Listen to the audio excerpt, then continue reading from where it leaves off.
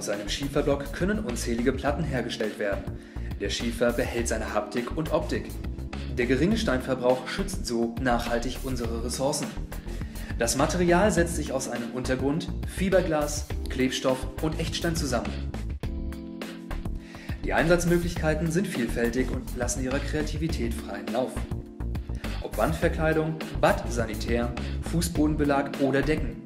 Echtstein hauchdünn kann umfangreich zum Einsatz kommen. Verarbeitung von Echtstein hauchdünn benötigt lediglich drei unkomplizierte Arbeitsschritte und ist auch für ungeübte Heimwerker gut zu verarbeiten. Schützen, schneiden, kleben. Zu Beginn der Verarbeitung von Echtsteinhauchdünn tragen Sie einen Schutz auf Ihre Sheets auf. Je nach Verarbeitungswunsch verwenden Sie einen bestimmten Schutz. Für die allgemeine Verwendung empfehlen wir, Ihnen Ihre Sheets mit der Slate Light Spezialimprägnierung zu schützen. Tragen Sie diese mit einer Schaumstoffrolle auf. Echtstein hauchdünn im Nassbereich zu schützen, verwenden Sie die Slate Light Perlschutzversiegelung. Sprühen Sie diese aus ca. 20 cm Entfernung auf die zu versiegelnde Fläche und verteilen Sie den Schutz sorgfältig mit der Rolle. Lassen Sie den Schutz einwirken. Schneiden Sie Ihre Sheets mit Hilfe von handelsüblichen Holzschneidwerkzeug auf die gewünschte Größe. Die Sheets müssen bei der vollflächigen Verklebung mit Kreppband abgeklebt werden.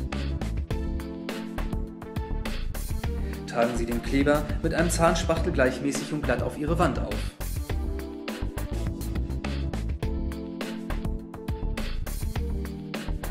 Achten Sie darauf, dass entsprechende Rillen zu sehen sind.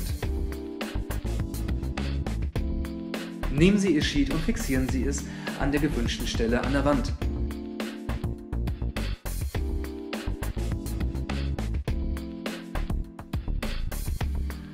Nach 48 Stunden ist das Material voll belastbar.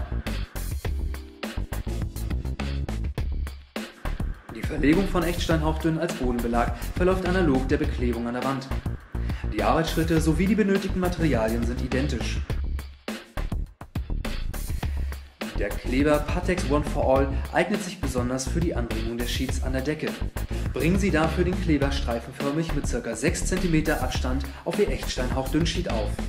Drücken Sie Ihr Echtstein-Hauchdünn-Sheet an die gewünschte Stelle. Je nach Wunsch können Sie es Stoß an Stoß oder mit Fugen verarbeiten.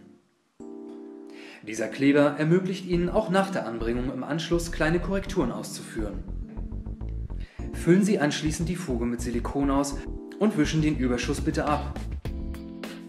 Ziehen Sie danach das Malerkrepp ab. Kleben von Ecken benutzen Sie für ein ideales Ergebnis eine Profilleiste. Bringen Sie diese an die zusammengesetzte Ecke auf.